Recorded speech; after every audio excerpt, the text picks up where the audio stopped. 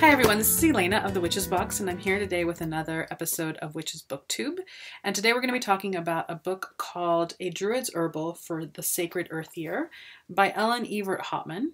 Beautifully designed image. Love the book. It's about 200 pages. So I've got her bio here, and I'm probably only going to read half of it. It's a really extensive bio that you can find for yourself over on Goodreads. It may be on Amazon as well, but I suspect that the bio on Amazon is probably a little shorter. But I'm going to read you half because the other half is just a long list of all the stuff that she's written and she's done, which is great. Ellen Evert Hopman is a master herbalist and lay homeopath who holds an MED in mental health counseling. She is a certified writing instructor through Amherst Writers and Artists. She is co chief of the White Oak Druid Order and was vice president of the Henge of Keltria, an international Druid fellowship, for nine years. She is the founder of the White Oak Internet Mailing List, an online Druid ethics study group, and a co founder of the Order of the White Oak.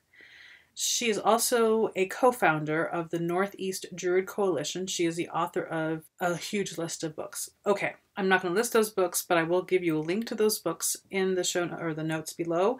But I'm also going to include a link to the White Oak Druids organization so that you can read information about her and druidry druidry there.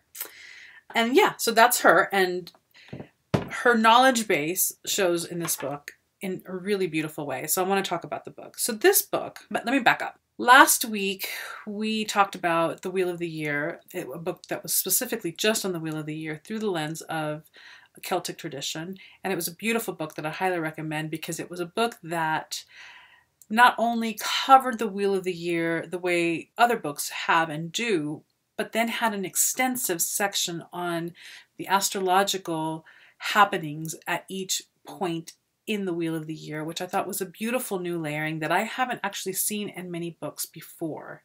This book covers the Wheel of the Year, and instead of doing that with the astrology, does it with the herbology. And I thought it was fantastic. It seemed to fit really well without me actually planning it, because normally in my head, I know what book I'm going to read next, but the last couple weeks have been really busy.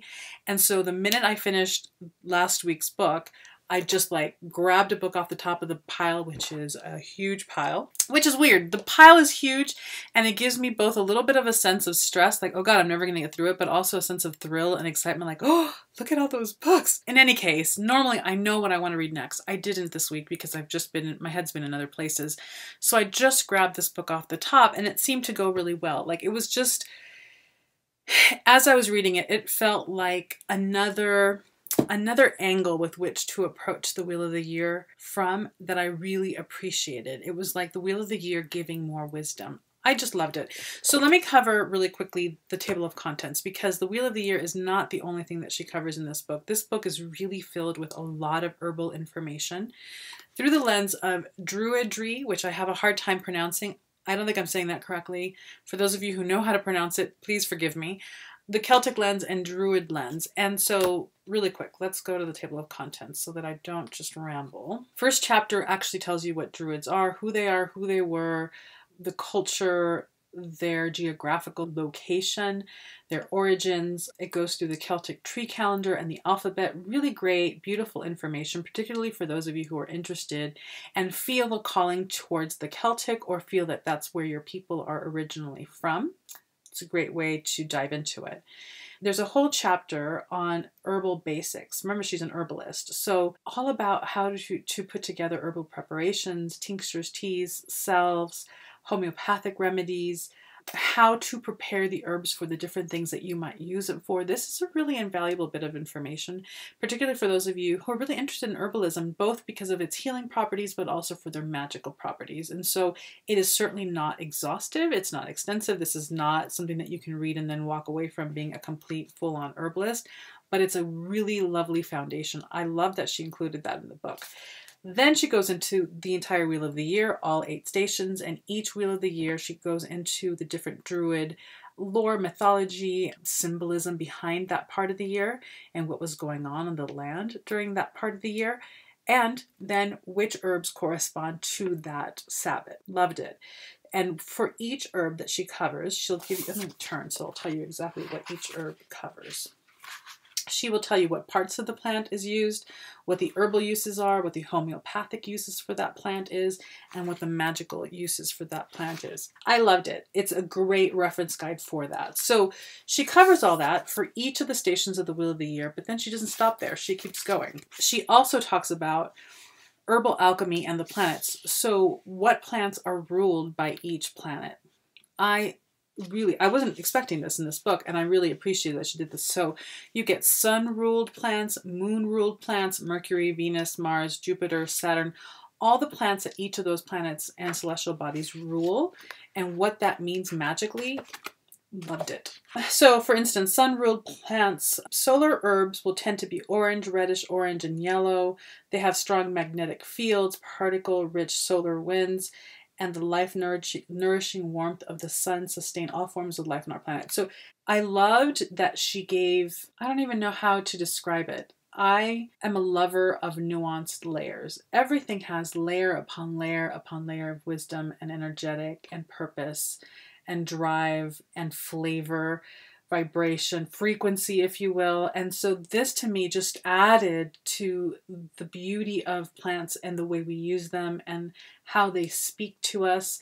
This chapter in particular really spoke to me and I really enjoyed it because it just added it added more wisdom to the way I'm working with the herbs that I'm working with and I think that it would do that for you as well and it also brought that element, right? How everything is intertwined. So you've got the astrology and the herbal, right? There's no separation here. Everything is intertwined, but I love the way these books are falling into my lap in a way that keeps weaving more wisdom into the the meat of all this beautiful stuff. What else? Then she goes into herbs of consecration and purification, the herbs that you would use for different rituals or potions to consecrate or purify, herbs for funerals, and death rites, herbs for hand fastings, house blessings, baby blessings, initiation, rites of passage, puberty.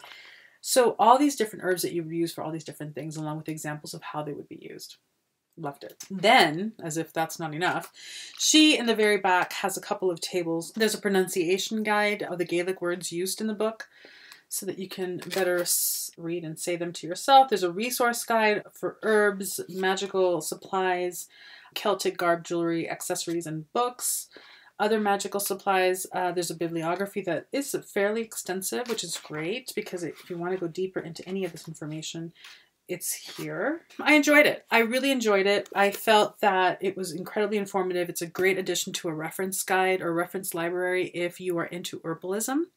If you are interested in Celt in the Celtic traditions, if you're interested in druidry. If you're interested in those things but not in herbalism, there are definitely other books that talk about all of that in a way that will speak more to you. So be be clear about that. If you're into herbalism and if you're into the Celtic lens, this is a great book. I really, really enjoyed it. Great for references. I've already, before I finished reading it, I had already used it for a reference guide for a couple of exciting new things I'm putting together for you. Yeah, I mean, really, I enjoyed it immensely. I'm surprised. This is a 200 page bookish, 200 and a couple of pages. She packed a lot of information into this book, you guys. So Boom, here it is. All the information I will list below. For those herbalists out there, great reference guide. If you've read it, please let me know what you thought. I know a few of you have already read it. I'd love to hear your opinions, what you liked most, what you didn't like most. Yeah, keep the conversation going. I really appreciate you guys when you comment. And I'm looking for references or for recommendations on books that speak to deeper sorcery. I'm diving more and more into Jason Miller's books in the next couple of months. And for those of you who've been watching for a while, you know that I read The Secret, The Sorcerer's Secret by Jason Miller. I love that book. The book was fantastic, and I recommend it to anyone that comes across my comes across any of these videos and wants a book on deeper magical energetic. So I'm looking for more books like that. If any of you have references for that or recommendations for that, please go ahead and list those below. I would really appreciate that. And that's it. I will see you all next week. Have a wonderful, wonderful week. I will see you on all the social medias and we will talk soon, no doubt. Take care.